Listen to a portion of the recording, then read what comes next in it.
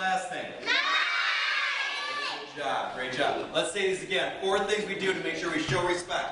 We have focus with our what again?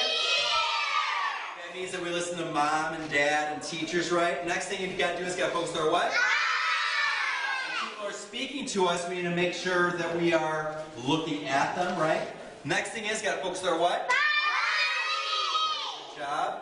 We need to make sure we keep our hands and our feet to ourselves, or if mom or dad asks us to do something, we need to make sure we do it immediately. And then last but not least, gotta focus with our what?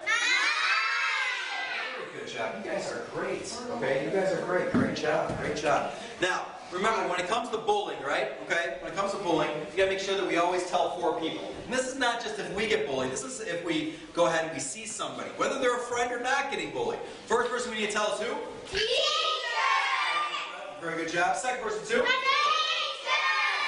the third person? Uh, Who's the fourth person? Very good job. Very good job. All right. Give me a good defense stance. Let's get some shin kicks. Defense. Good. Everybody should be looking up at the dry erase board here. Nice job. All right.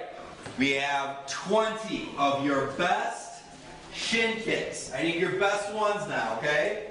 Set. Go.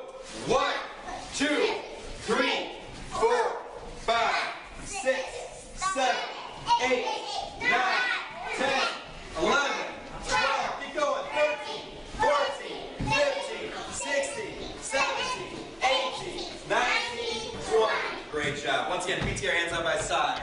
Ready? Great, guys. Well, listen, I am so happy. I'm so blessed to have spent time to spent this time with you guys. All right. Moms and dads, you know, if you guys have any questions for me after, feel free to come on up. You can go ahead and, and, and take care of that other stuff. That'd be great. And uh, other than that, guys, we're going to go ahead and give you guys just a couple minutes to kind of